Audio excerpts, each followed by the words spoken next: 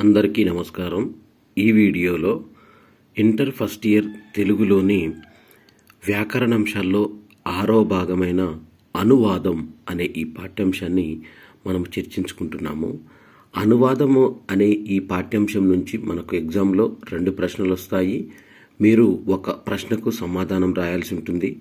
ఒక ప్రశ్నకు మనకు ఐదు మార్కుల చొప్పున కేటాయించడం జరుగుతుంది. వీటిని కొంచెము లాజిక్గా గుర్తుపెట్టుకుంటే మీరు ఈజీగా సమాధానాలు రాయగలుగుతారు. ముందుగా అనువాదం అంటే మనకు దీన్ని ఆంగ్లంలో ఏమంటామంటే ట్రాన్స్లేషన్ అంటాము. అంటే ట్రాన్స్లేషన్ అంటే ఒక భాష నందలి భావాన్ని మరొక భాషలోకి వ్యక్తీకరించే ప్రక్రియనే మనము అనువాదం అంటాము. ఈ అనువాదాన్నే ఇంగ్లీష్లో అంటే ఆంగ్లంలో ట్రాన్స్లేషన్ అంటారు. అంటే అనువాదం చేయదలుచుకున్న భాషను మూల భాష అంటే సోర్స్ లాంగ్వేజ్ అంటాము. అంటే ఏ భాషనైతే మనము అనువాదం చేయాలనుకుంటున్నామో దానిని మూల భాష దానినే సోర్స్ లాంగ్వేజ్ అంటారు. అనువాదాన్ని ఏ భాషలోకి చేయదలుచుకున్నారో ఆ భాషను లక్ష్య భాష అంటారు. అంటే ఏ భాషలోకి అనువాదం చేయాలనుకుంటున్నారో దానిని లక్ష్య భాష అంటారు. ఫర్ ఎగ్జాంపుల్ మనము ఇంగ్లీషులోని అంశాలను తెలుగులోకి అనువాదం చేయాలనుకో అప్పుడు ఇంగ్లీష్ ఏమవుతుందంటే మూల భాష. తెలుగులోకి అనువాదం చేస్తున్నాం కాబట్టి తెలుగు లక్ష్య భాష అవుతుంది. ఇంగ్లీషు సోర్స్ లాంగ్వేజ్ అవుతుంది టార్గెట్ లాంగ్వేజ్ తెలుగు అవుతుంది.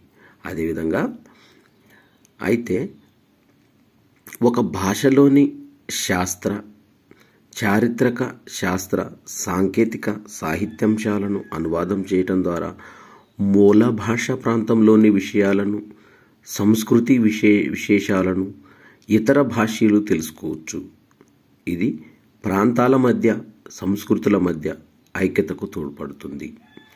భారతీయ భాషలలో ఒక భాష నుంచి మరొక భాషలోకి విదేశీ భాషలలోకి విశ్వ సాహిత్యం నుంచి భారతీయ భాషలలోకి ఆదాన ప్రధానాలు జరిగాయి. తెలుగు భాషలోకి సంస్కృత బెంగాలీ హిందీ ఉర్దూ తమిళ మలయాళ కన్నడ ఇత్యాది భారతీయ భాషల సాహిత్యం ఆంగ్ల ఫ్రెంచు రష్యను చైనీష్ భాషల సాహిత్యం అనువాదం అయ్యింది మూల రచనను యథాతథంగా తెలుగులోకి తర్జుమా చేయడం ఒక పద్ధతి అయితే మూల రచనకు భంగం వాటిల్లకుండా స్వేచ్ఛానుసరణ చేయడం మరొక పద్ధతి. ఈ అనువాద విధానంలో పాటించాల్సిన మెలకువలు అనువాదంలో మనము చేయాలంటే కంపల్సరిగా కొన్ని మెలకువల్ని పాటించాలి. ఆ మెలకువలు ఏమిటంటే అనువాదంలో సాంస్కృతిక పరమైన సమస్యలు ఎదురవుతాయి. భాషా సంబంధమైన సమస్యలు కూడా ఎదురవుతాయి. అంటే ఒక ఒక పదాన్ని కరెక్ట్గా వేరే భాషలోకి ట్రాన్స్లేషన్ చేయాలంటే ఆ భాషకు సంబంధించిన పదాలు ఫస్ట్ తెలిసి ఉండాలి మనము మూల భాష సోర్స్ లాంగ్వేజ్కి సంబంధించిన అర్థాలు పర్ పర్ఫెక్ట్గా తెలిసి ఉండాలి మనం ఏ భాషలోకైతే లక్ష్య భాష ఏ భాషలోకైతే మనం అనువాదం చేయదలుచుకున్నామో టార్గెట్ లాంగ్వేజ్ యొక్క మీనింగ్ కూడా కరెక్ట్గా తెలిసి ఉండాలి ఎందుకంటే ఈ రెండింటి అర్థము పర్ఫెక్ట్గా తెలిసినప్పుడు ఆ భాషలోని పదాల కూర్పు అనేది సరిగ్గా చేసినప్పుడే అది ఫలవంతమవుతుంది. తర్వాత అంశం చూసినట్టయితే భిన్న సంస్కృతులు భిన్న భాషా పదాలను సృష్టించుకున్నప్పుడు ఆ సాంస్కృతిక అంశాల పారిభాషిక పదాలను అనువాదం చేసే భాషలో ఉండే సామీప్య పదబంధాలను ముందుగా క్రోడీకరించుకోవాలి.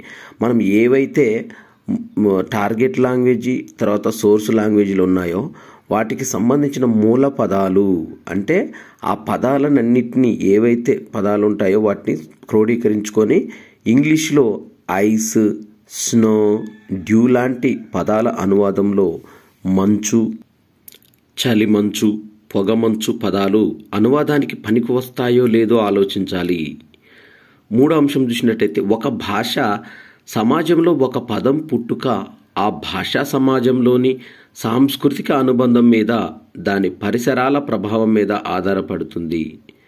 దానిని అనువాదం చేసేటప్పుడు దాని పరిసరానుబంధానికి విఘాతం జరగకుండా పదాలను ఎంపిక చేసుకోవాలి. సాధారణంగా ఒక భౌగోళిక ప్రాంతంలో నివసించే ప్రజలంతా ఒకే భాషను మాట్లాడతారు. అట్లాగే ఒక భాషా ప్రాంతానికి సంబంధించిన ప్రజలకు అంటే జాతికి ఒక నిర్దిష్టమైన భౌతిక జీవనం ఉంటుంది. సాంఘిక జీవితం ఉంటుంది. మత విశ్వాసాలు ఉంటాయి. ఒక్క మాటలో చెప్పాలంటే వీటన్నిటి ప్రభావాల వల్ల జాతి భావాలు భావాల తీరును బట్టి భాషలుంటాయని మనము గమనించాలి.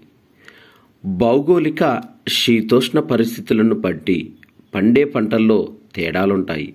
ఆ తేడాలు ఆహారపు అలవాట్లను కూడా మారుస్తాయి. ఇంగ్లీష్లో బ్రెడ్ సూపు శాండ్విచ్ లాంటి మాటలను గమనించండి. తెలుగులో అన్నంలోనూ కూరల్లోనూ చాలా రకాలున్నాయి. వరి అన్నం వేరు కొర్ర అన్నం వేరు సంగటి వేరు. ఇంగ్లీష్లో రైస్ అంటే అన్నం కావచ్చు. బియ్యము కావచ్చు. అంటే ఇంగ్లీష్ వారికి రైస్ అనే పదంలో వాళ్ళ అవసరాలు తీరుతున్నాయి. కాబట్టి కొత్త పదాల సృష్టి వాళ్ళకు అవసరం లేకుండా పోయింది. అంటే భిన్న భిన్న సంస్కృతులు భిన్న భిన్న పదాలకు అలవాలంగా ఉంటాయని మనం గమనించాలి. కాబట్టి అనువాదం చేసేటప్పుడు సాంస్కృతిక ప్రభావం ప్రధాన పాత్ర వహిస్తుందన్న సత్యాన్ని మనం గమనించాలి. అనువాదంలో భాషా సమస్యలు కూడా ప్రధాన అంశమే. మూల భాషా నిర్మాణానికి లక్ష్య భాష నిర్మాణానికి మధ్య తేడా ఉండడం వల్ల అనువాదంలో సమస్యలు ఏర్పడతాయి. ఇందులో కొన్ని రాసే అలవాట్లు పదాలు నుడికారాలు వాటి అర్థ విశేషాలు పద నిర్మాణం వాక్య భేదాలు ప్రయోగాలు ఇవన్నీ భాషా నిర్మాణ సంబంధమైన సమస్యలుగా గుర్తించాలి. మూల భాషలోని నుడికారం తెలియకపోతే తప్పుడు అనువాదం చేసే అవకాశము ఉంటుంది. కాబట్టి అనువాదం చేసేటప్పుడు స్థూలంగా పైన చెప్పిన సమస్యలను గుర్తించి అనువాదం చేస్తే ఆ అనువాదము సరైన విషయ సమగ్రతను కలిగి అనువాదం చేసుకున్న భాష సమాజానికి కూడా మంచి సమాచారాన్ని అందిస్తుంది. ఇప్పుడు అనువాద అభ్యాసానికి కొన్ని ఆంగ్ల వాక్యాలు మనం చూద్దాం ఇక్కడ. ఫస్ట్ చూసినట్టయితే a journey of thousand miles begins with a single step అంటే వేళ్ళ మైళ్ళ ప్రయాణమైన ఒక్క అడుగుతోనే ప్రారంభమవుతుంది. ఇది మనము సక్సెస్ సాధించడానికి ఫస్ట్ స్టెప్ వేసేటప్పుడు ఆ సందర్భంలో చెప్తారు. ఏదైనా పనిని మనం శ్రీకారం చుట్టినప్పుడు దాన్ని సక్సెస్ సాధించడానికి మనం వేసే తొలి అడుగుకి ఈ పదాన్ని ఉపయోగిస్తారు. అంటే way a journey of thousands miles begins with a single step అంటే వేళ్ళ మైళ్ళ ప్రయాణమైన ఒక్క అడుగుతోనే ప్రారంభమవుతుంది. అంటే మనం స్టెప్ తీసుకోవటాన్ని బట్టి స్టార్ట్ అవుతుందని అర్థం. సెకండ్ వన్ చూద్దాం. There is a plenty of water in that region ఆ ప్రాంతంలో నీరు పుష్కలంగా దొరుకు ఉంటుంది. అంటే మనము నీటి అవసరాల కోసం ఉపయోగించే క్రమంలో దీన్ని వాడతాము.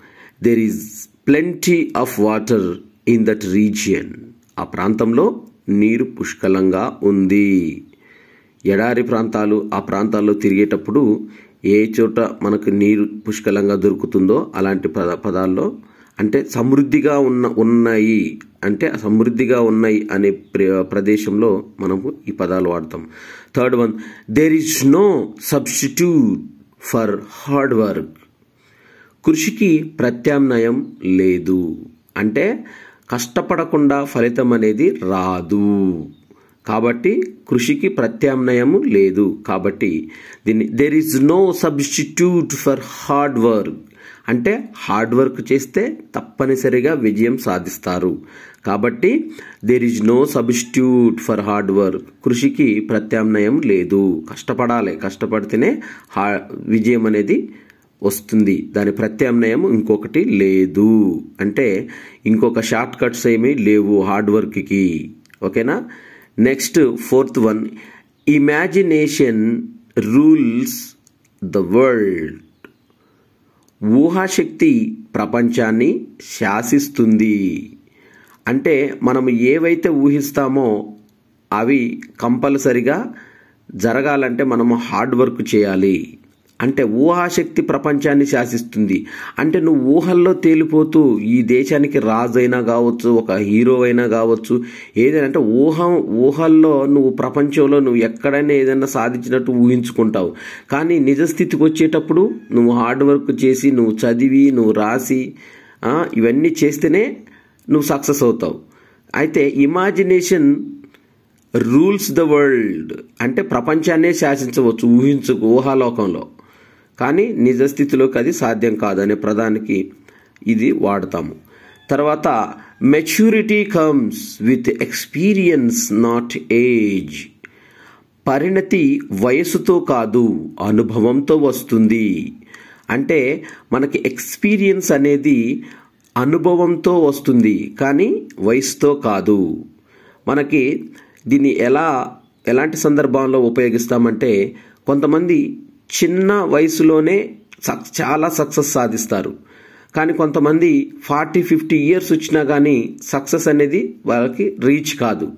దీన్ని బట్టి అతి చిన్న వయసులోనే మైక్రోసాఫ్ట్కి తర్వాత గూగుల్ సంస్థలకి దాదాపుగా మంచి నెలకి దాదాపు ఒక రెండు లక్షలు మూడు లక్షలు జీతాలు సంపాదించే వాళ్ళు ఆ ఆ ఉద్యోగులుగా ఎంపికైతారు. కానీ కొంతమంది ఫిఫ్టీ ఇయర్స్ సిక్స్టీ ఇయర్స్ వచ్చేదాకా కూడా ట్వంటీ థౌజండ్ థర్టీ థౌజండ్ శాలరీకే చేస్తుంటారు. అంటే దీంట్లో మనం గమనించాల్సింది ఏంటి అనుభవము అనుభవం అనేది ఎక్స్పీరియన్స్తోనే వస్తుంది. ఎక్స్పీరియన్స్తో వస్తుంది కాబట్టి ఇది వయసుతో సంబంధం లేదు. మంచి ఎక్స్పీరియన్స్ పొందిన వాళ్ళు ఉత్తములుగా తీర్చిదిద్దబడతారు. దాంట్లో అందుకే maturity comes with experience not age పరిణతి వయసుతో కాదు అనుభవంతో వస్తుంది. సిక్స్త్ చూడండి. Language is the dress of the thought ఆలోచనకి తొడిగిన ఆహార్యమే భాష. అంటే దీన్ని ఎలాంటి సందర్భంలో ఉపయోగిస్తామంటే మనము ఆలోచనలు మనకి ఏ భాషలోనైతే మనం తెలియజేస్తామో ఆ భాషలో మనము తొందరగా ఆ ఆలోచనల్ని తెలియజే తెలియజేయగలుగుతాము.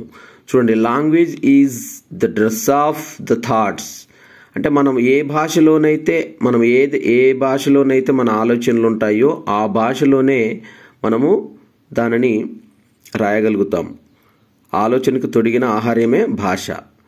తర్వాత seventh one a picture is a poem without words పదాలు లేని పద్యమే చిత్రం. ఇది మనం ఒక ఒక పిక్చర్స్ డ్రాయింగ్స్ వేసినప్పుడు చూడండి. ఆ డ్రాయింగు దాంట్లో పదాలు ఉండవు కానీ హవాభావాలు చాలా కనిపిస్తాయి ఆ పా పిక్చర్స్లో అలాంటి పదంలో a picture is a poem without words మనం ప్రకృతి రమణీయత దృశ్యాలు తర్వాత ఏదైనా మంచి సీనరీస్ ఇవన్నీ కనపడ్డప్పుడు దాంట్లో మనకు తెలియని పద్యంలాగా ఉంటుంది అది ఓకే వితౌట్ వర్డ్స్ కానీ పదాలు ఉండవు కానీ పద్యం దాంట్లో కనిపిస్తుంది. A picture is a poem without words పదాలు లేని పద్యమే చిత్రం.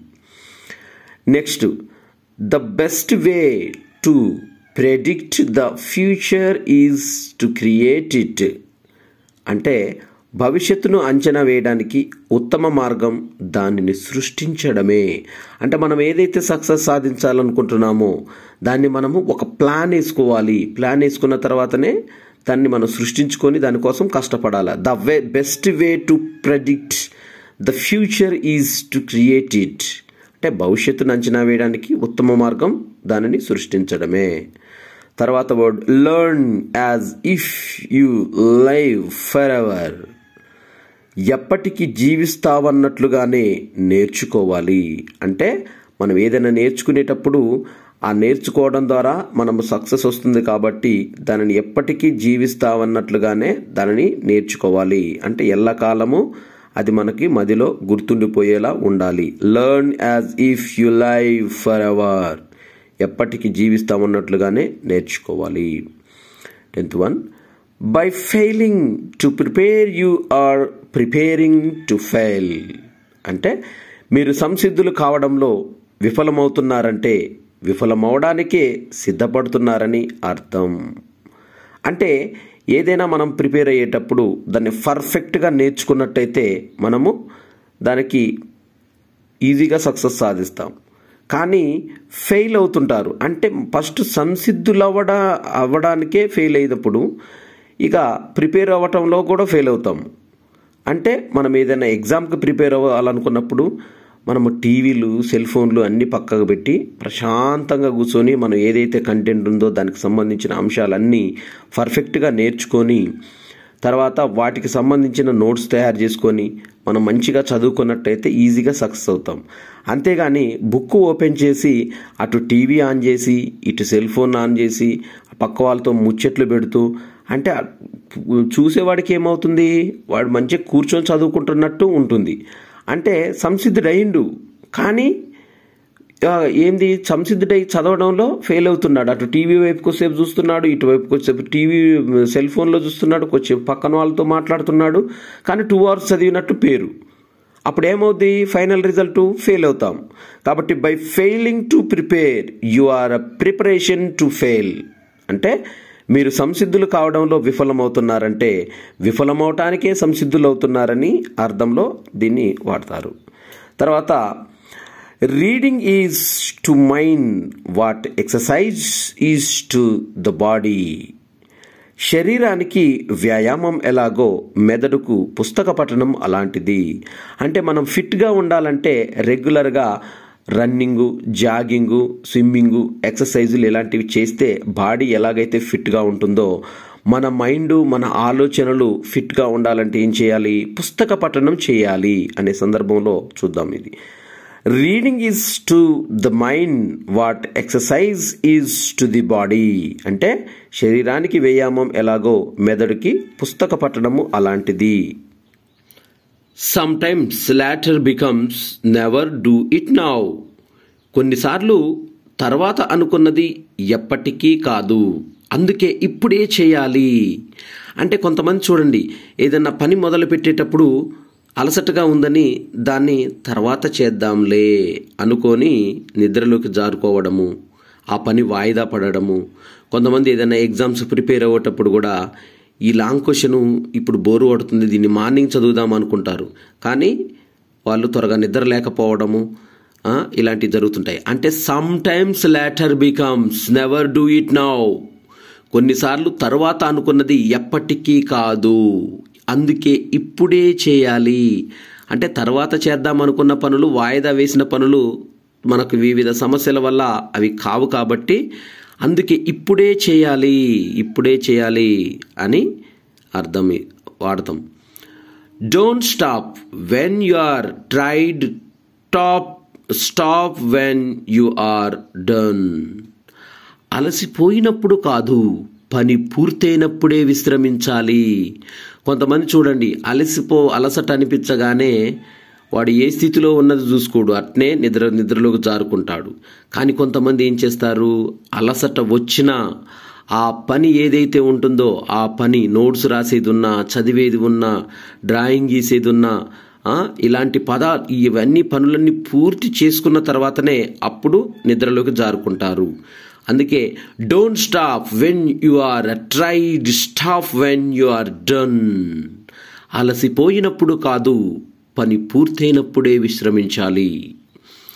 తర్వాత education is the most powerful weapon which can change the world ప్రపంచాన్ని మార్చగలిగే అత్యంత శక్తివంతమైన సాధనం విద్య మాత్రమే. అంటే ప్రపంచాన్ని చదువుకున్నవాడు ఎక్కడికైనా వెళ్ళి ఏ విధైనా సాధించి రావచ్చు. కానీ అదే నిరక్షరాస్యుడైతే ఏ ప్రదేశంకి వెళ్ళినా కనీసం బస్ బోర్డు కూడా చదవలేడు. ఏదైనా ముఖ్యమైన సమాచారాన్ని పొందలేడు. ఏదైనా కొత్త కొత్త ఆలోచనలను చేయలేరు. అందుకే ప్రపంచాన్ని మార్చగలిగే అత్యంత శక్తివంతమైన సాధనము విద్య మాత్రమే. Education is the most powerful weapon which can change the world అని మీకు ఎగ్జామ్లో ఇట్లా పైన ఇంగ్లీష్లో వర్డ్ ఇచ్చి తెలుగులో రాయమన్నా తెలుగులో వర్డ్ ఇచ్చి ఇంగ్లీష్లోకి ట్రాన్స్లేట్ చేయమన్నా కానీ ఈ పదాలను మీరు ఈజీగా వాడవచ్చు. నెక్స్ట్ చూద్దాం. What you do is more important that why that what you say నువ్వు చెప్పే మాటల కంటే నువ్వు చేసే పనులే నీ గురించి మాట్లాడుతాయి. కొంతమంది చూడండి ఈ నేను అది చేస్తాను ఇది చేస్తానని చాలా ప్రగల్భాలు పలుకుతారు కానీ ఆచరణలోకి వచ్చే లోపల అతను చేయటం మానివేస్తారు. అంటే చెప్పే మాటల కంటే నువ్వు చేసే పనులే నీ గురించి మాట్లాడుతాయి. కొంతమంది చూడండి మాటలు తక్కువ మాట్లాడతారు. లెస్ టాకింగ్ వర్క్ మోర్ అంటే తక్కువ మాట్లాడి ఎక్కువ పని చేస్తారు. అలాంటి వారు సక్సెస్ సాధిస్తారు కొంతమంది ఊరక మాట్లాడుతూనే ఉంటారు కానీ పని చేయరు. బుక్ ముందు పెట్టుకొని కూడా పక్క వాళ్ళతో మాట్లాడడము చదవకపోవడము వాడిని వాని వాడితో మాట్లాడటం వీళ్ళతో మాట్లాడటం ఇట్లా చేస్తుంటారు. చెప్పే మాటల కంటే. అంటే నేను అది చేస్తాను ఇది చేస్తాను అంటారు కానీ దాన్ని చేయరు. అంటే what you do is more important that what you say నువ్వు చెప్పే మాటల కంటే నువ్వు చేసే పనులే నీ గురించి మాట్లాడతాయి. ఎవరైనా సక్సెస్ సాధించినప్పుడు అప్పుడు ఏం చేస్తాడు? వాడు వాడు ఎప్పుడు చూసినా పుస్తకాలే పట్టి చదువుతుంటాడు. ఎప్పుడు రాస్తూనే ఉంటాడు. అలాంటి వాడు స్టేట్ ఫస్ట్ ర్యాంక్ వస్తే అప్పుడు అందరూ మాట్లాడుకుంటారు. అంటే వాడు హార్డ్ వర్క్ చేసిండు కాబట్టి అందుకే hard works never fail okay next చూద్దాం. Don't judge book is its cover అందుకే ముఖ చిత్రాన్ని చూసి పుస్తకాన్ని అంచనా వేయొద్దు. ఒక్కోసారి ముఖ చిత్రం పుస్తకం అంటే కవర్ పేజీ చూసి ఇది ఎలాంటిదంటే మనిషిని చూసి అంచనా వేస్తారు. ఒక్కొక్కడు బక్కగా ఉండి చింపిరి జుట్టు వేసుకొని ఉంటాడు. హే వీడు మామూలుగా పోకిరిగాడిలాగా ఉన్నాడు అనుకుంటాడు కానీ వాడిని కదిలిచ్చి చూస్తే వాడి సక్సెస్ కానీ వాడి ప్రిపరేషన్ విధానం కానీ మనకు అన్నీ తెలుస్తాయి. ఇక్కడ చూడండి don't judge book by its cover అంటే మనుషులను కానీ పుస్తకాలను కానీ కవర్ పేజీ అంటే ముఖ చిత్రాలను చూసి వాటిని అంచనా వేయొద్దు. ఎందుకంటే పుస్తకమైన మనిషినైనా కానీ వాడిని చదివితేనే మనకు వాళ్ళు ఉన్న లక్షణాలు అవన్నీ అర్థమవుతాయి. అందుకే don't judge book by its cover ముఖ చిత్రాన్ని చూసి పుస్తకాన్ని అంచనా వేయొద్దు. Next word a poor workman blames his tools పని చేతగాని వాడు పనిముట్లను నిందిస్తాడు.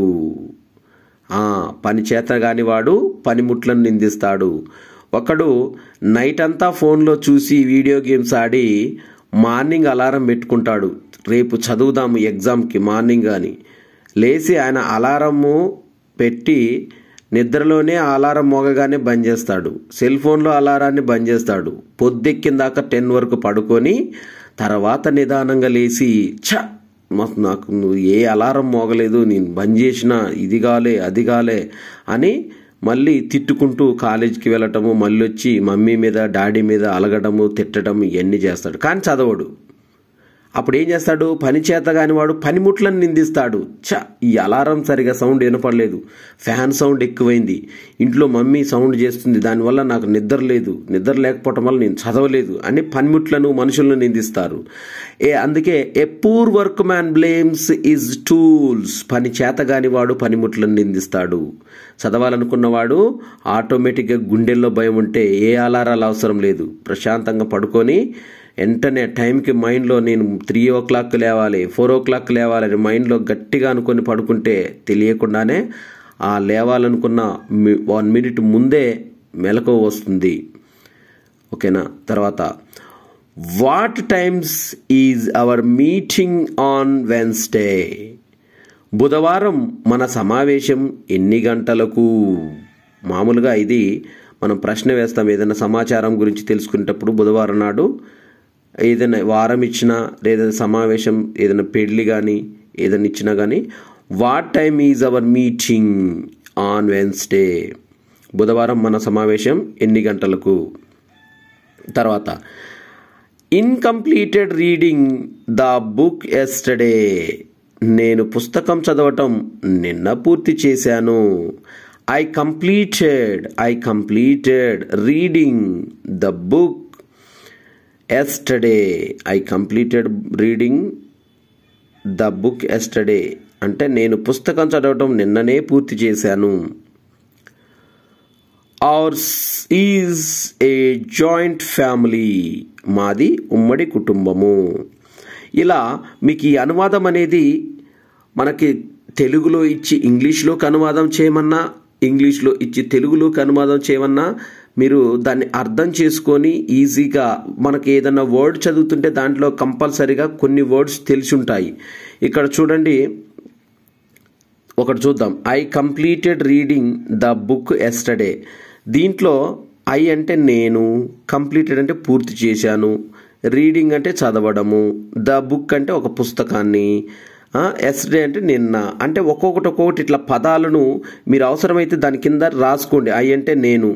ఎగ్జామ్లు ఇచ్చినప్పుడు ఇలా రాసుకోవాలి. తర్వాత ours is a joint family ఇది అవర్స్ అంటే మాది మా యొక్క ఈజ్ కలిగి ఉన్నాము. ఏంటిది? ఏ జాయింట్ ఒక ఉమ్మడి ఫ్యామిలీ అంటే కుటుంబం. ఇట్లా వర్డ్స్ని మీరు పెన్సిల్తోని ఎగ్జామ్లో నిదానంగా అటు రాసుకుంటే మీకు ఆ కింద రాసుకున్న తెలుగు పదాలన్నింటినీ ఒక ఆర్డర్ వైజ్గా సెట్ చేసి రాసినట్టయితే ఇక్కడ మీకు ఈజీగా మార్క్స్ మంచి మార్క్స్ పొందడానికి అవకాశం ఉంది. What times is our meeting on yesterday what అంటే ఎన్ని ఏ ఏ అని వస్తుంది. టైం అంటే సమయము లేదా గంటలు. ఈజ్ అవర్ మీటింగ్ అంటే మన సమావేశం ఆన్ వెన్స్డే అంటే వెన్స్డే అంటే తెలుసు మనకు బుధవారం అని. అంటే బుధవారం మన సమావేశం ఎన్ని గంటలకు ప్రారంభమవుతుంది? ఇలా ఈ అనువాదాలన్నింటినీ మీరు చాలా జాగ్రత్తగా ఆలోచించి చేసినట్లయితే ఫైవ్కి ఫైవ్ మార్క్స్ ఈజీగా పొందవచ్చు. ఎందుకంటే మనకు మొత్తము వ్యాకరణంశాలు దీంతో మనకు ఈ ఇంటర్మీడియట్ ఫస్ట్ ఇయర్ తెలుగులోని వ్యాకరణంశాలన్నీ పూర్తి చేశాము. అయితే దీంట్లో మీరు మొత్తము మంచి మెలకువలు పాటించి వీటి ఇచ్చిన వ్యాకరణంశాలు సంధులు కానీ సమా సమాసాలు కానీ తర్వాత దీంట్లో లేఖారచన కానీ వ్యాసాలు వ్యాసాలు కానీ తర్వాత అనువాదము ఇలా అన్ని అంశాలను మీరు చాలా జాగ్రత్తగా చదివినట్టయితే మనకి ఫార్టీ మార్క్స్కు ఉన్నది గ్రామర్ మొత్తం. ఈ ఫార్టీ మార్క్స్ గ్రామర్కి మీరు ఫార్టీకి మినిమం మంచిగా సందులు సమాసాలు లేఖారచన సందులకి దాదాపు పన్నెండు మార్క్స్ అడుగుతారు. ఎందుకంటే సంధి పేరు సంధి పదం పదాన్ని వేడదీసి సూత్రం రాయాలి కాబట్టి పన్నెండు మార్కులు వస్తాయి. ఇలా సమాసాలు లేఖ రచన సాధారణ వ్యాసాలు స్థూల అవగాహన మంచిగా పారాగ్రాఫ్ను చదివి ఆ పారాగ్రాఫ్కి సంబంధించిన క్వశ్చన్ ఆన్సర్స్ రాయడము తర్వాత అనువాదం అంటే ట్రాన్స్లేషన్ చేయడము ఇవన్నీ మీరు పర్ఫెక్ట్గా చేసినట్టయితే ఫార్టీ బై ఫార్టీ కూడా సాధించే అవకాశాలు ఉంటాయి కాబట్టి స్కోర్ మనకి రేటింగ్ పెరగడానికి అవకాశం ఉంటుంది. అందుకే జాగ్రత్తగా వీటిని గుర్తుపెట్టుకొని మీరు మంచిగా ఆన్సర్స్ చేయగలరు. ఈ వీడియో మీకు నచ్చినట్టయితే లైక్ చేయండి. ఇంటర్ ఫస్ట్ ఇయర్ చదివే విద్యార్థులకు ఈ వీడియోని షేర్ చేయండి. నా ఛానల్ని సబ్స్క్రైబ్ చేసుకోవడం ద్వారా నేను చేసే వీడియోస్ అన్నీ మీకు నోటిఫికేషన్లో నోటిఫికేషన్ రూపంలో వస్తాయి. నెక్స్ట్ తర్వాత వీడియోలో కథాలహరి అనే ఉపవాచకంలో మనకు నాలుగు లెసన్స్ ఉన్నాయి. అవి ఏంటి అంటే గొల్లరామవ్వ కథ తర్వాత ఇక్కడ చూడండి కథాలహరి ఉపవాచకము. దీంట్లో గొల్లరామవ్వ పివి నరసింహారావు రాశారు. బిచ్చగాడు అంపశయ్య నవీను స్నేహలతారే దేవి లేక డాక్టర్ ముదిగంటి సుజాతారెడ్డి ఇన్సానియత్ డాక్టర్ దిలావర్. లాస్ట్లో ఒక మోడల్ పేపర్ ఇచ్చాడు. ఇవన్నీ మనము ఈ లెసన్స్ తర్వాత వీడియోలో ఉపవాచకము స్టార్ట్ చేసుకుందాము. Thank you everyone.